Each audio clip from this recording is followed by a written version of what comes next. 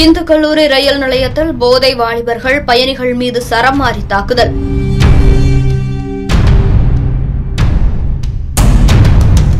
ரத்தம் சொட்ட சொட்ட முதியவர் அமர்ந்திருக்கும் அதிர்ச்சி காட்சிகள் வெளியாகி பரபரப்பு. சென்னை ஆவடி அடுத்த இந்து கல்லூரி ரயில் நிலையத்தில் நாள்தோறும் சென்னை நோக்கி செல்வோரும் அரக்கோணம் நோக்கி செல்வோரும் பயன்படுத்தி வருகின்றனர்.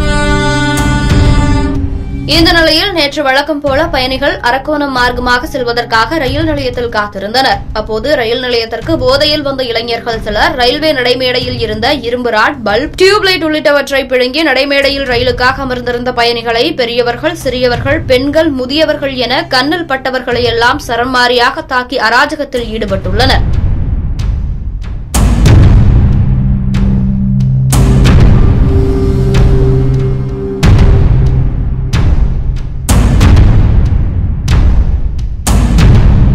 இதில் இரும்பு கம்பியால் முதியவர் பரமசிவத்தை தாக்கியதில் அவருக்கு தலையில் பலத்த காயம் ஏற்பட்டு ரத்தம் சொட்ட சொட்ட இருப்பதைக் கண்டு அதிர்ச்சியடைந்த சக பயணிகள் அவரை மீட்டு கீழ்ப்பாக்கம் அரசு மருத்துவமனைக்கு அனுப்பி வைத்துள்ளனர். இதனால் பயணிகளிடையே அச்சம் எழுந்துள்ளது.